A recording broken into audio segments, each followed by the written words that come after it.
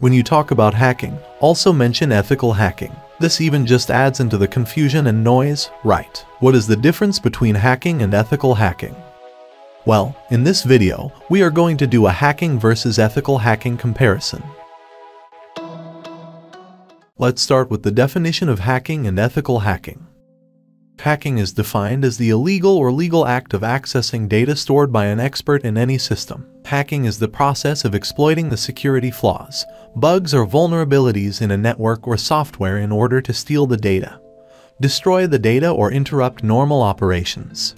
A person who performs hacking activities is called a hacker, a cracker, an attacker or a black hat hacker.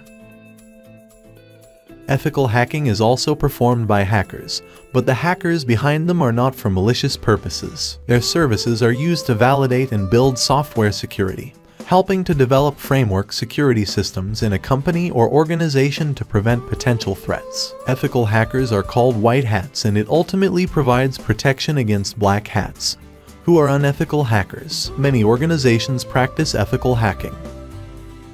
Hacking versus ethical hacking. Intention. How does a hacker versus ethical hacker compare in terms of intention? Just like we already saw in the definitions above, this is where a hacker differs greatly from an ethical hacker. A hacker attacks a network, system or application with all the wrong reasons.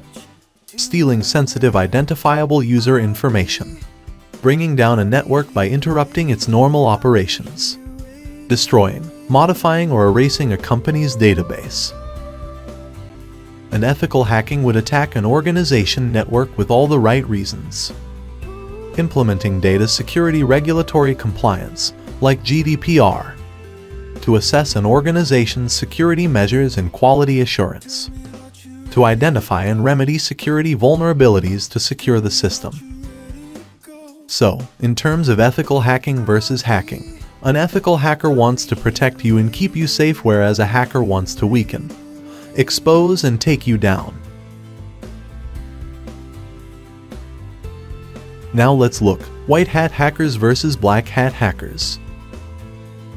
Black hat hackers objective. Steal valuable information from other users. Downloading free hacking software is considered an illegal activity. To get access to free music and videos. To steal money through transactions and accounts to steal valuable information from governmental organizations, to access restricted networking spaces.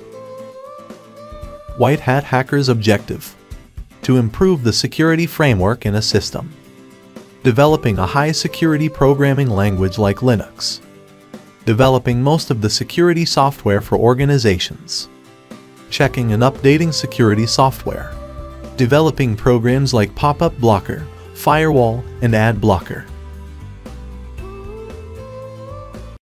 Thanks for spending some time with us today, we're so glad to you did. If you found value in today's video, please give us a like hit that bell icon to never miss an upload, and don't forget to subscribe.